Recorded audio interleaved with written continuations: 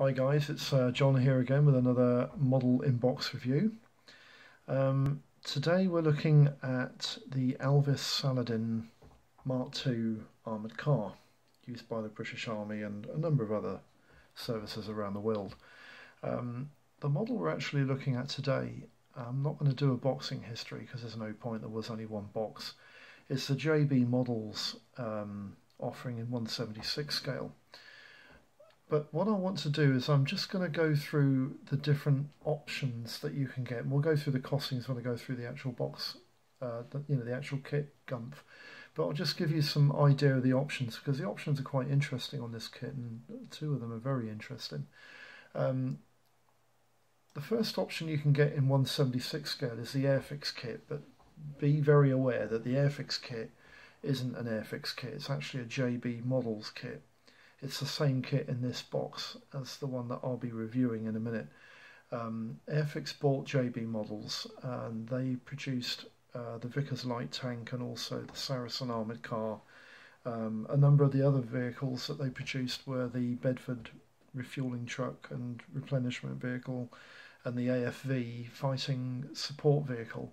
They were all originally JB models kits in 176 scale and they slotted very nicely into Airfix's armoured range, being similar uh, scale to all their other armoured kits. So the first option available, um, which you can get in 72nd scale, is the Airfix kit, and the kit that I'm doing a review on is actually this one, the JB Models offer. Um, this kit was actually originally released in 1994, and it only had one box release, and that was the one that you know that's the one that's in front of you. And I don't know why it was only ever released in one box, and I'm pretty sure that the model was actually released and on the shelves by JB Models for its duration until Airfix bought the company. Um, but this is the only box that's a boxing that's available, and as I said, it's originally a 1994 release. The other options available, you can get one in one seven, sorry, 140th scale uh, from a company called Midori, but you can also get one in 172nd scale by a company called Grigori OKB, and I think they're a Russian company. Haven't got any boxing pictures of that. It's a shame, really. Um, and I don't really know much about it, but I do know the kit's about here and there. Um, that's a Russian company, o, uh, Grigori OKB, and this one is available in 140th scale, um, and this is by Midori Models. Then you go to 135th, and 135th is probably the most common um, model available. But every single kit in 135th scale is a standalone model. They're not reboxed by anybody else. The first company um, that I want to bring your attention to is a company called Accurate Armour, and they specialise sort of in multimedia plastic construction where they, they utilise a lot of photo etch parts and resin, and uh, there's usually a sprue in there of injection moulded parts, but I'm not so sure with a Saladin. I think it's it's um, it's PE and uh, resin. Uh, so that's accurate armour. Then Ace Models do um, a Saladin Mark II as well. Um, that's interesting because this one's in 172nd scale. And I always thought they produced it in 135th, but it's a 72nd scale kit. It's quite plain simple there. There we go, 172nd. Um, you can also get a kit by company called Dartmoor Models, and this is in 135th scale. Again, this is a resin kit, um, and I don't think it's a nice resin kit. I don't think it's a particularly fantastic one, uh, but it is available in limited supply, and I have seen it here and there crop up on uh, media sales sites like eBay. Um, but it's quite pricey, uh, if I remember right. But I can't remember what the exact exact price of it is. Um, Dragon do a model of this kit as well, and Dragon's model is probably the best option in terms of value for money and quality. Um, it's similar, and it's, it, it, may be slightly better in quality than the Tamiya kit, um, but I'll go into the Tamiya kit when I go into the, the costings later. But that's a Dragon offering in 35th scale.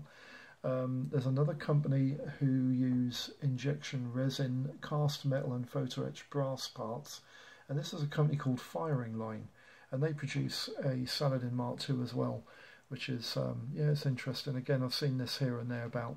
Um, Scalecraft do another kit, and the and the only reason why I've got this as a model is because you actually have to put it together. it doesn't come built up in the box. Um, I think you have to assemble the wheels, um, put the batteries into it because it's actually motorized. But it's a snap together model kit. Um, and that's the only reason why I've put it in here. But it is really more of a toy than it is a model kit. Um, but it, yeah, it's interesting. It's it's about here and there. It's quite dear as well. And then also, of course, you got the the Tamiya releases, and I'm I'm showing you two different versions of the Tamiya kit because there's an early release version which is on a box similar to this, and then they changed the parts here and there to produce this version as well. Um, it is based on the original version from Tamiya, but I think there's a, an additional sprue with revised parts on it to finish the kit into the the upgraded, um, the, like the Saladin Mark II proper. Um, so that's that's the actual kits that are available. Um, that's a nice image there of, I believe, um, I think that's in a. I don't think it's in a museum actually. I think it's in a private collection. Um, but that's a Saladin Mark II at some sort of uh, rally, some sort of uh, military vehicle rally. I want to bring your attention now to the table. I'll just tilt this down and try and bring it down so you can see the model in question. I don't think this video is going to take a huge amount of time because there's not an awful lot to this kit to go through. But this is the kit in question, this is the box. Um, I picked this model up quite cheap actually, maybe two or three years ago. Um, it's not in the original bag, and to my shock and horror I actually found out that it's not complete either. Um, well, I'll just take these parts out of the bag very quickly, won't take very long. Pop that over there. We'll go through the uh, instruction leaflet first. Just pop that over there. The instruction leaflet with JB models was basically an instruction leaflet like this. It's about A5 size. And you've got um, the information on the front, JB model, Saladin Mark II armoured car. The serial number allotted to the vehicle by Alvis was FV601.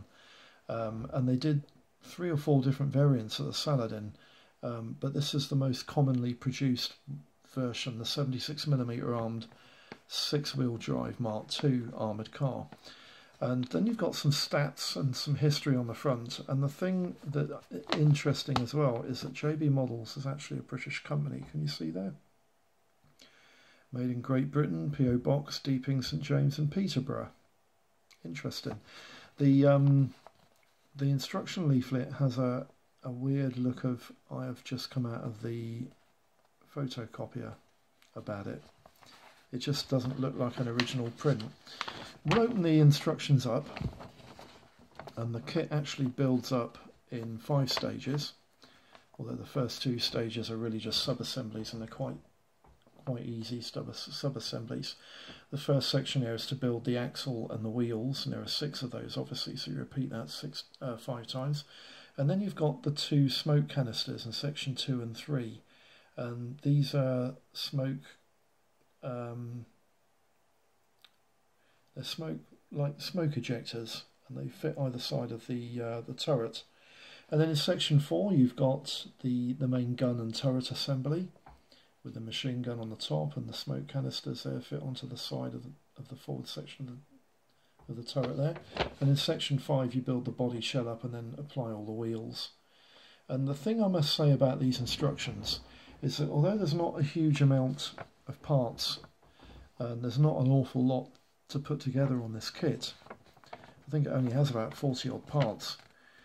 The, the instructions are a little bit vague to follow. Um, yeah, there are arrows showing you where the parts go in relation to the different, you know, the different location parts on the kit, but um, then it's not particularly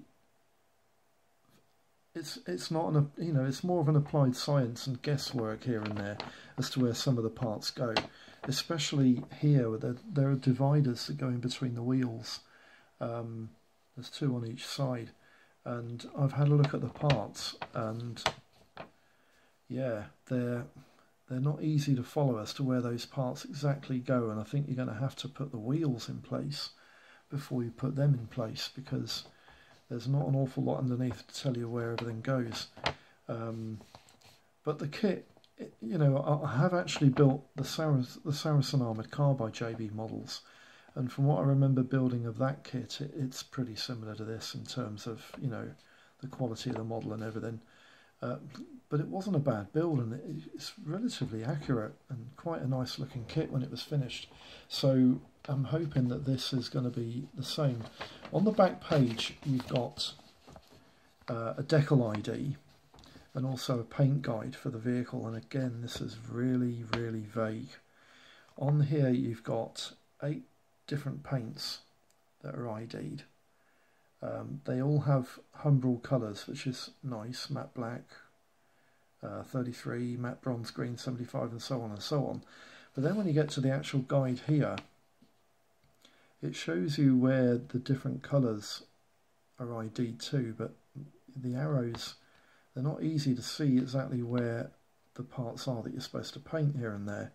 And the other thing that's interesting is, is that MAT93 is desert yellow, so one of these variants is actually a desert yellow vehicle, perhaps based in Aden, perhaps based in Egypt, perhaps based in Cyprus, or I'm, I'm not quite sure.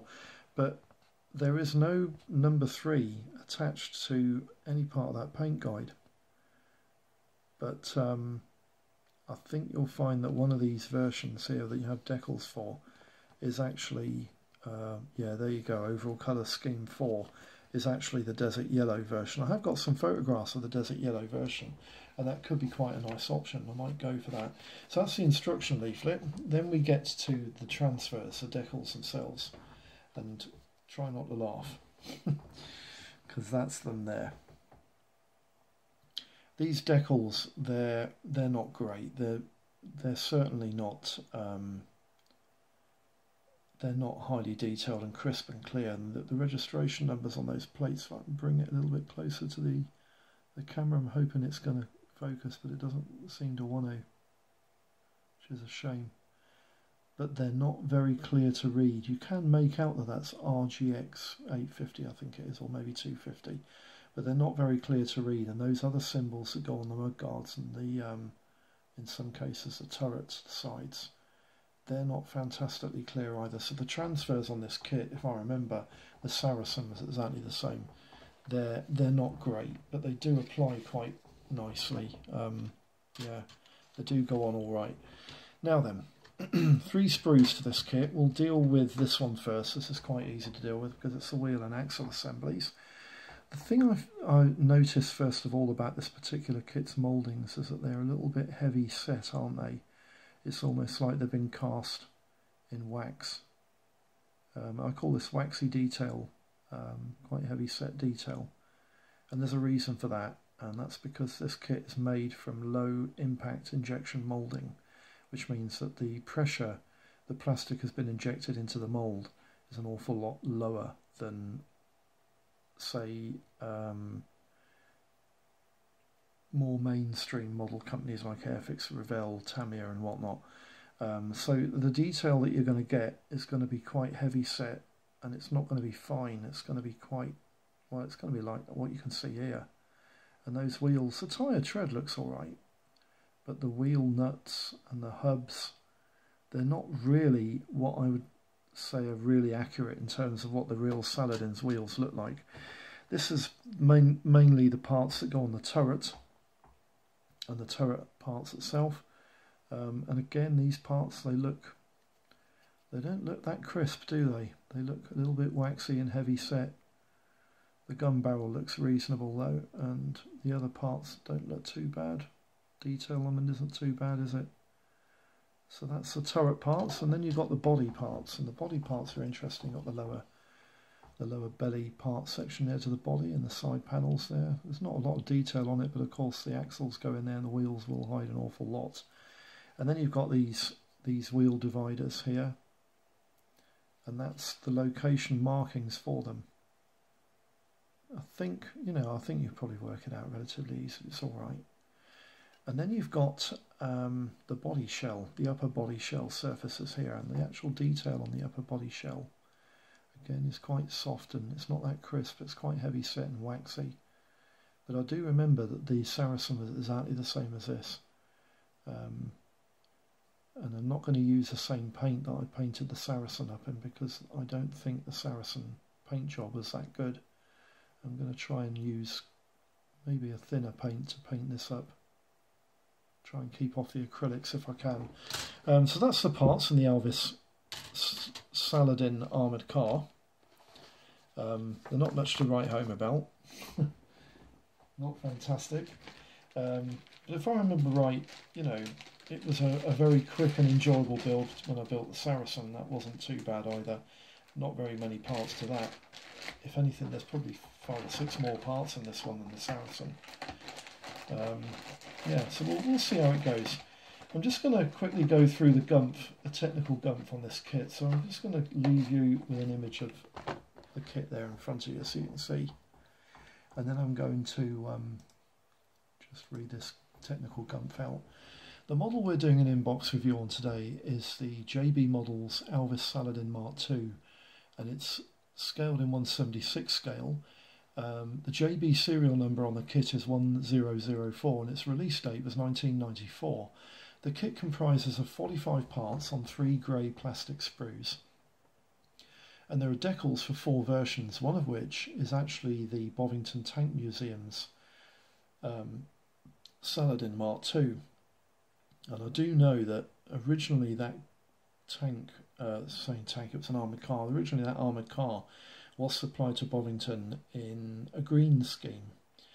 But I think at the moment it carries a, a green and desert yellow scheme. And I think at one time it was all completely covered in desert yellow. But the other three variants um, are for British Army service vehicles circa 1958 up to about late 1970s when the Saracen was actually replaced by the Scorpion tank. Now then, options and costs. In 176th scale, we have the Airfix Saladin, which is a JB Models kit, of course. This retails usually for between 10 and 13 pound. The JB Models Saladin is between 10 and 15 pound. In 172nd scale, the Grigori OKB Saladin, um, again, I haven't actually got any pricing information on that, um, and it's not that easy to obtain either. Then you've also got um, an Ace model Saladin, and that generally retails between 14 and 20 quid. In 140th scale, there's a Midori model Saladin. Um, that again, I haven't got any details of pricing on that either. In 35th scale, Accurate Armour do a resin kit, which is about 30 to 50 pound, quite pricey. Dartmoor military models do a Saladin, again I've got no pricing on that. The Dragon Saladin, which in my opinion in 35th scale is probably the best priced option because if anything I think it might be slightly better than the Tamiya kit in terms of quality, detail and accuracy, uh, but it does retail for slightly less. Um, firing line Saladin, again, that's the multimedia, um, sorry, the multi-mode um, format of parts, and it, it comes in PE um, and resin parts. And that kit, again, it retails, I've got no fixed prices, but I have seen it go, I think, once about a year ago on eBay, I think, where it fetched pretty close to 90 quid. Um, the Scalecraft, the toy, the motorised toy, that's available for about 50 to 65 pound. And the Tamiya um, models, they I'm going to have to show them in in uh, the two different release prices because the early release Saladin, sometimes they can go for stupid money. Um, I've seen them go for as like 50 odd quid, and I've also seen them go for over 80 quid. But the, the general run of the mill Tamiya kit in, in the later variant boxes, that usually retails between 20 and 70 pound. Now then, conclusions. You have to remember that this kit is made from low impact plastic injection parts and as such the detail and the moulds will be less crisp than your average Airfix and Revell models. But in the smaller scales there isn't really an awful lot of competition. Um, the Dragon and Tamiya kits are really nice in 135th scale, but the Tamiya kits are getting rare now, and so they'll fetch stupid prices. And I think you'd probably be would, would be better off with the Dragon models. Um, also, don't be put off by the Ace um, models kit in 172nd scale. Again, it's low impact plastic injection mouldings, So you're going to have similar parts to it as to what's in the JB Models kit. Um, but they tend to be really accurate. I've seen this kit made up and it's really, really nice. Not that badly priced either. It's on a par with sort of the JB Models pricing.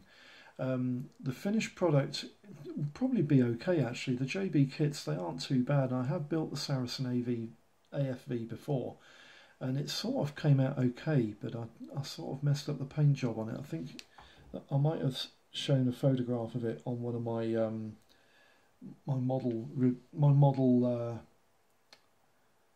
the slideshow videos that I've done. I think it might be it might have featured on one of those somewhere, so you'll probably be able to see it.